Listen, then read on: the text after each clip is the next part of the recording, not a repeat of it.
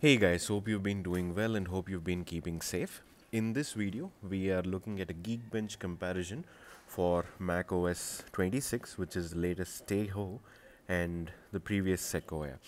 So first, uh, I am down. I downloaded the Geekbench. I'm running the CPU test right now for Sequoia.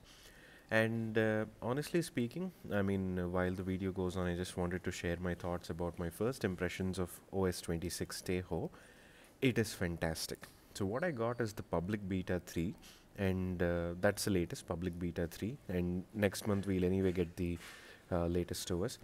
So it is fantastic. I love the way it looks, the way it operates. So this is the Geekbench CPU for the uh, older OS, okay, Sequoia.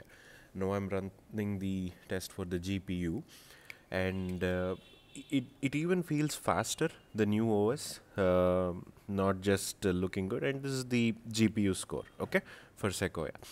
And now i will go ahead uh, i'll download uh, you just have to head to apple beta and sign up.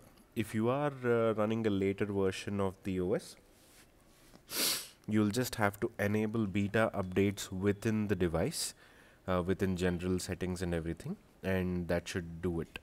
Um, but if you are running older uh, OSS, you may have to install a profile and then uh, update it. Okay, so it's around uh, uh yeah seven eight GB and uh, download it.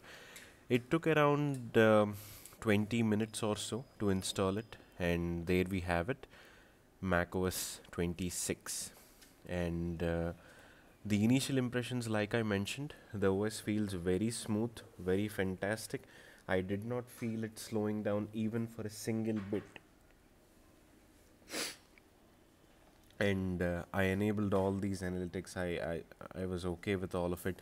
There is a new feature of summarizing the notifications as well not just um, showing them to you. It's in beta stage but i just went ahead and select all, selected all of them. Okay? And uh, then you also get uh, a set of new wallpapers which I obviously uh, I continue to use my old ones. And uh, you can customize the way your icons look. You can do it the older way or you can have the i mean older way meaning dark mode light mode right? So that is still there. And you can also have the liquid glass way right now which is increased transparency. So that setting is in your hands so now I'm running the I gave it a little bit of time and now I'm running the CPU Geekbench test on Tahoe and uh, there we have the results. Yeah uh, it looks like they have improved slightly. We'll uh, look at a comparison screenshot towards the end of the video. And now I'll go ahead and run the GPU benchmark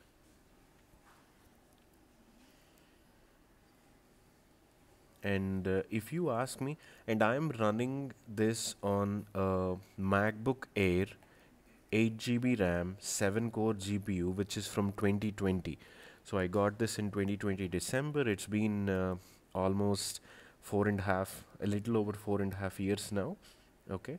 And uh, uh, yeah it's on apple silicon. And yes it's running fantastic. So if you are having any questions don't have them go ahead and up, uh, update it so this is the comparison of the cpu and the gpu hope you found this informative. Thank you for watching. Have a nice day